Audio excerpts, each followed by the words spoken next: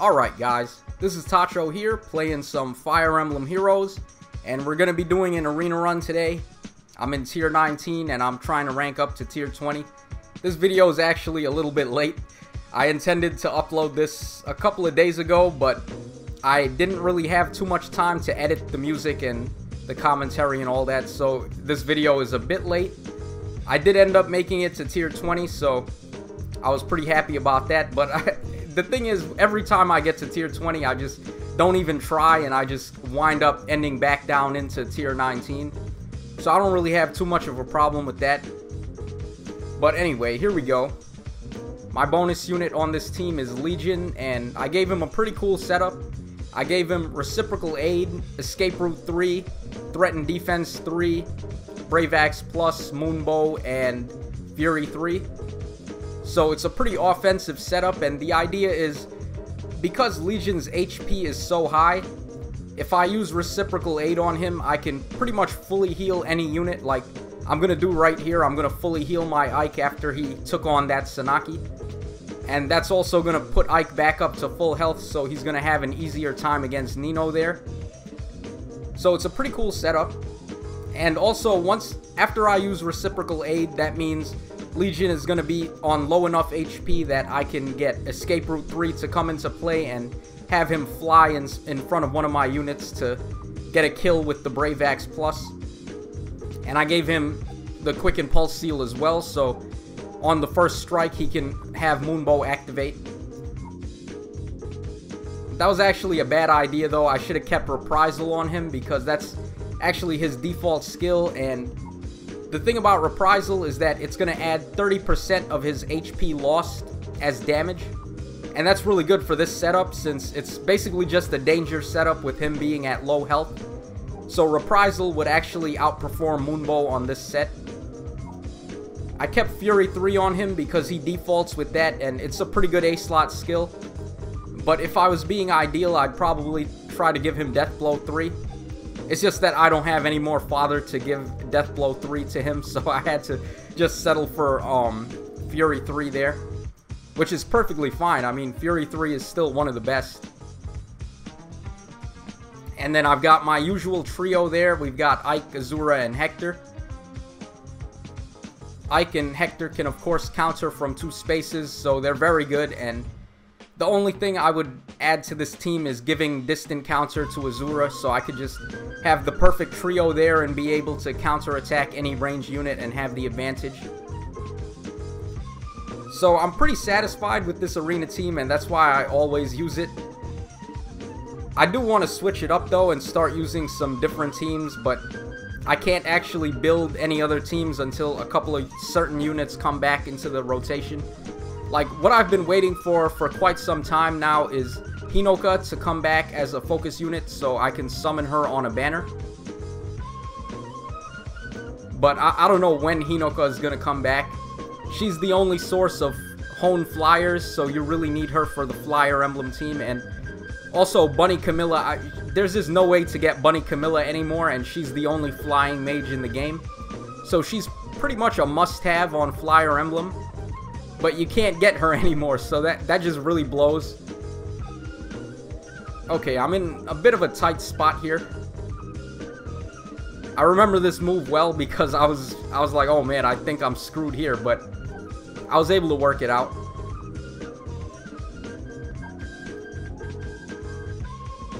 The problem came up because that Eirika has a rally skill and she ended up rallying on Azura instead of walking into my trap there. So I, was a little thrown off by that. But I should be able to make a good comeback. If I leave Azura there, she's going to get hit by Nino, so I have to move her back one space. And I definitely can't leave Hector there, or else Eirika's going to get the double on him and probably finish him off.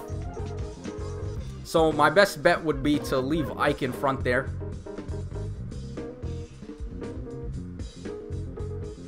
Yeah, just like I thought, I was going to move Azura back one space just to get her out of Nino's range, and then I'm going to probably pivot Hector off Ike so he gets the Spur Defense 3 buff. And I just wanted to check my damage against Eirika there to make sure she can't one-round me. So even if Azura dances on Eirika on that turn, I'm going to proc Vantage and then I'm going to finish her off. And that's exactly how I'm going to finish off Nino, but Eirika threw a curveball and she went after Azura there. Not like it was a big deal because Azura's got a better matchup against her than Ike does. But I, I was like, oh man, I didn't see that coming. So it did catch me off guard, but it didn't matter.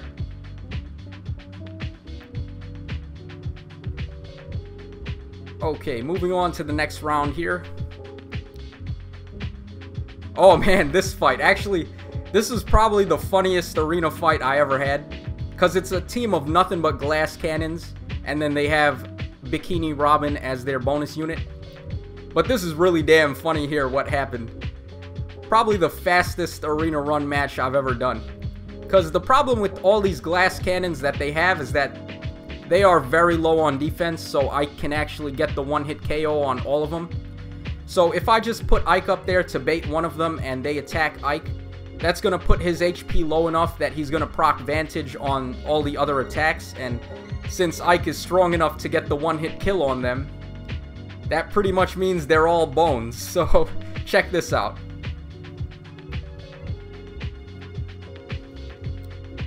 Okay, looks like Sanaki's coming in first.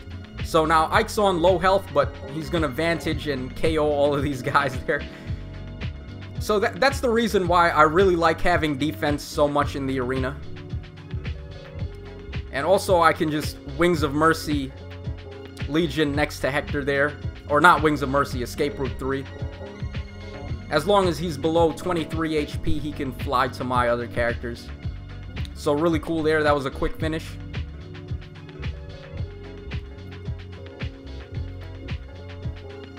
Okay, this guy's got Delthea, so he's pretty much ready for the next round. I managed to summon Delthea on the very first summon if you guys saw my summoning video. Pretty awesome there. I wasn't able to get Sonya though. And I'm really lacking on green units actually. I checked my box and the only real green units I have are Hector, Legion, Cecilia, and Merric, and Merric's a little too slow, so he can't really pull off the Blade Tome combo thing. And Hector and Legion are, of course, both melee units. And I know Cecilia is a really good Blade Tome user, but that's only on Horse Emblem. So what I'm really trying to get to my box now is a green mage that is pretty fast, can pull off the Desperation combo and with the Blade Tome, and I'm not sure like what unit I'm going to use for that. It's going to have to be Nino most likely. But I just have really awful luck when it comes to summoning Nino. I've summoned her maybe like 20 times at least by this point, but not one of them has had the ideal IVs that I would want. I think the best Nino I ever summoned was plus res minus defense, which is pretty good on her actually because when she has the res boon, she gets plus 4 instead of the usual plus 3. So that's not a bad one, but like most people, I kind of want plus speed or plus attack instead. But this guy here, he's living the life. Look at that. He's got Bunny Camilla and Hinoka. Probably my biggest regret in this game is not actually whaling to get Bunny Camilla. But it's not entirely my fault. Like, how is anyone supposed to know that she'd be so good? And look at that. She has so much defense that I can't actually one-round her. Yeah, man. Instead of whaling for her, I whaled for Celica who I really overestimated, if I'm being completely honest. I thought she was going to be a little bit better than she actually turned out to be. But yeah, man, Bunny Camilla, such a good unit. And the lucky few that managed to get her are really living the life. Okay, but anyway, we're moving on to the next fight here.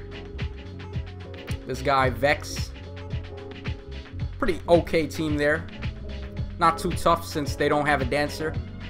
They do have a healer though. They have Genny. I don't know, man. The thing about healers, I've said this before, but the concept of healing is actually really good because in the event that you need to bait the same color of unit twice, like let's say the opponent had Nowi and Reinhardt on the same team, normally I would bait both of those units with Hector, but if Hector baits one, then his HP is going to be too low to be able to bait the other. So that's where healing can really come in handy. But actually using a cleric to heal is kind of not the best since they have a pretty low base stat total and all of the staves aren't that good as, as far as weapons go. They have really low might. And they, they have these cool like secondary effects, but they're not like really that good. Like they're cool, but they're not good, like if that makes any sense.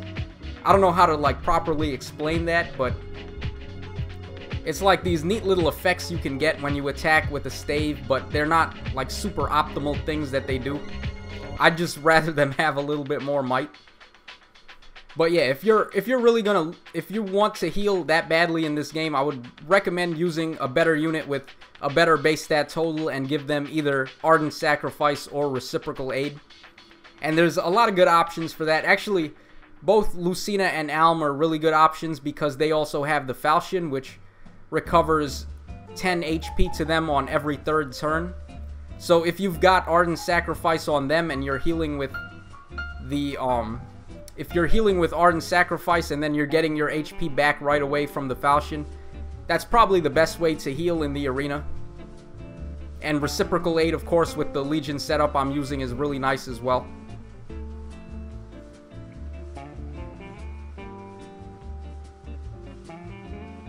I'm in a bit of a tough spot here because Legion's not low enough on HP to use Wings of Mercy, so I had to reciprocal aid a second time there on Azura to get him low enough. And now we can have him fly in front of Ike get the double on that Kagero.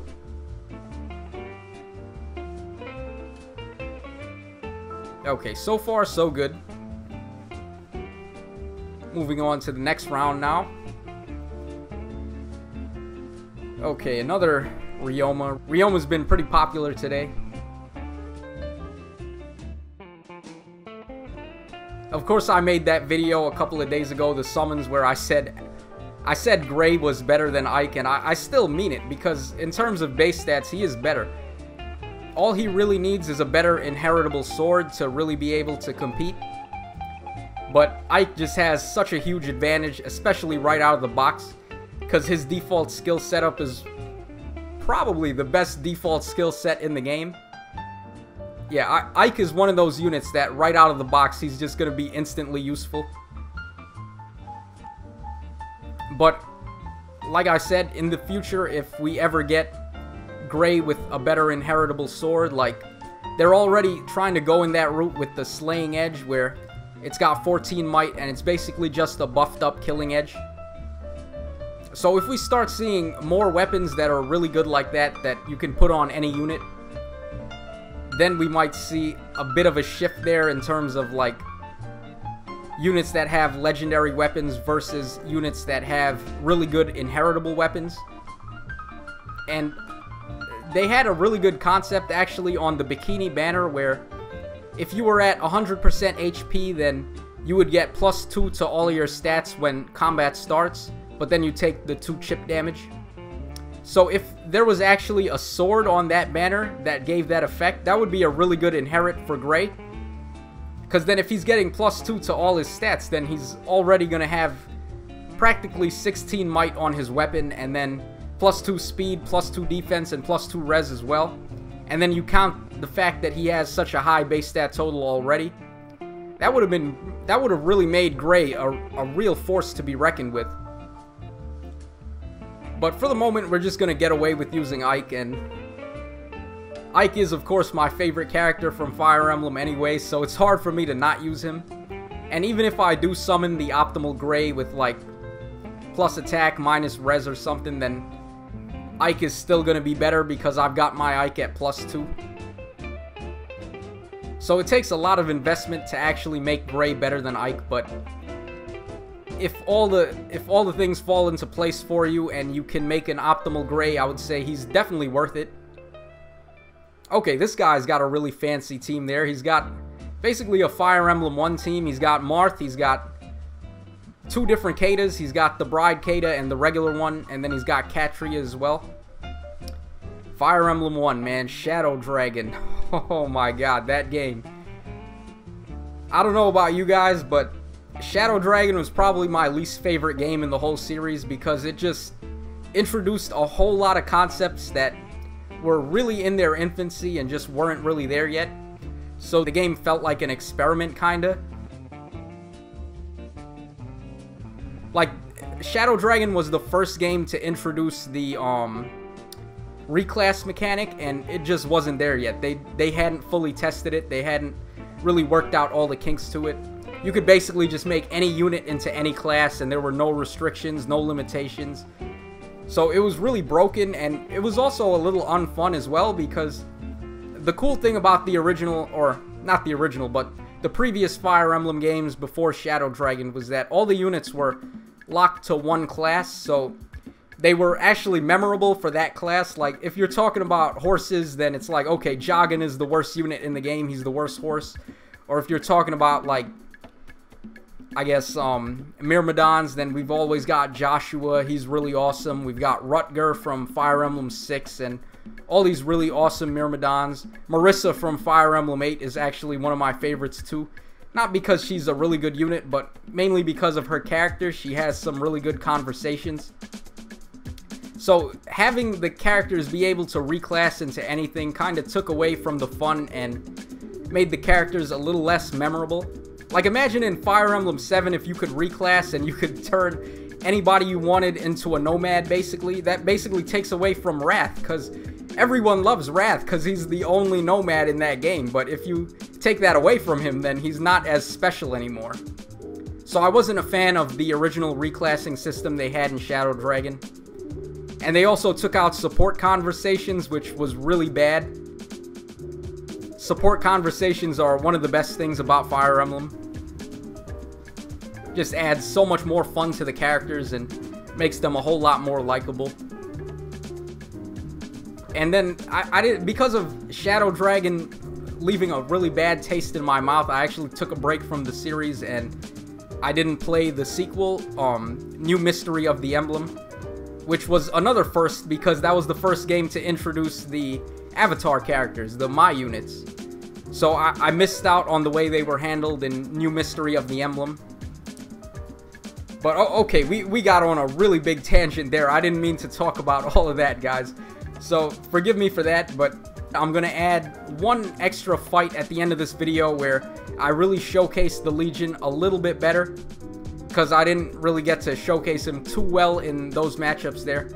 But my score is 4,874 and because this is a late video and I'm uploading it a couple of days after the fact, I did rank up to tier 20, so I was happy about that. But anyway, guys, without further ado, here is the Legion in his full capacity. Alright, so we're back now, and I'm gonna finally get to show off that Legion setup that I really wanted to show. I guess we showed it off a little bit earlier in the arena run, but this time it's gonna be a little bit more special. Okay, so this guy here, he's got Swimsuit Tiki. He's got Bride Cordelia, Celica, and Azura. Pretty solid team. Tiki is, of course, his bonus unit. Cordelia is a bit of a threat. I'd want to bait her normally with Ike, but since she has Swordbreaker, it's going to be a little tough. And he's also really smart. He's not running Life and Death 3 on his Cordelia, so he's not at minus 5 defense. So it makes it really tough to get the one-hit KO on her there. I would highly recommend if you're going to run Bride Cordelia, then use either Swift Sparrow or Death Blow so you don't get killed in one hit on the counter attack. But my Ike is a little special. He's got 60 attack after I get Hone Attack on him. So he can actually get the one hit KO. 60 minus 24 is, of course, 36. So by one point, I'm actually able to kill that Cordelia before she can wreck me with the Sword Breaker.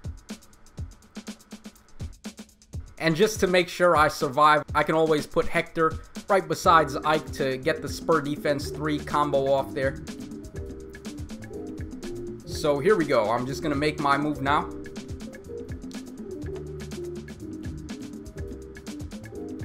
And I'm probably going to move Legion next to Azura as well to get Hone Attack on him on the next turn. Yeah, just like I thought. Okay, so here comes Bride Cordelia. And just like I calculated, I kill her by one point. So now we gotta deal with Celica and Tiki. This is where not having distant counter on Azura really sucks, because I can bait Celica, but I can't actually kill her on the attack. So this is going to be a little tricky. And then on the, I also have to deal with Tiki as well, so that's going to be trouble.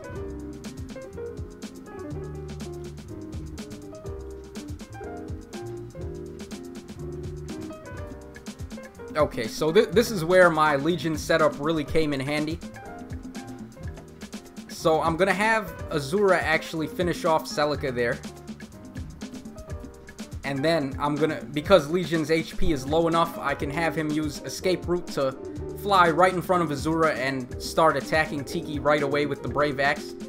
But this Tiki has close defense 3, so she's going to get plus 6 defense when I attack her. Which is really going to suck, and that puts her at 36 defense, so even Legion might have a bit of a rough time there trying to get the one shot on her. But luckily, he's got Moonbow and Quick Impulse, so he can get both of those off on the same turn. I actually had to do a little bit of math here to make sure I'd get the one-hit KO. It's a pretty tough move there, but in the end, I was able to get it done.